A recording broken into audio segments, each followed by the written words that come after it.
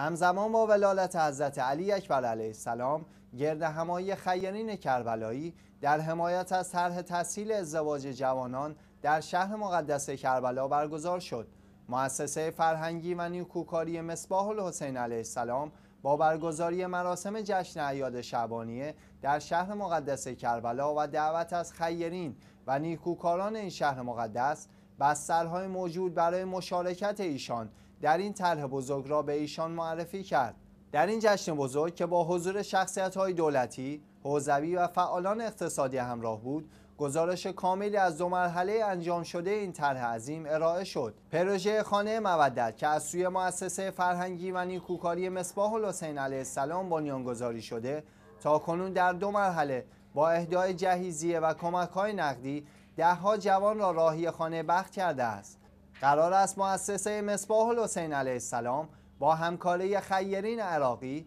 در مرحله سوم این طرح همزمان با ماه مبارک رمضان با پخش برنامه زنده در شبکه مقدس امام حسین علیه السلام دو به زبان عربی دهها جوان دیگر را به قید قرعه راهی خانه بخت کند.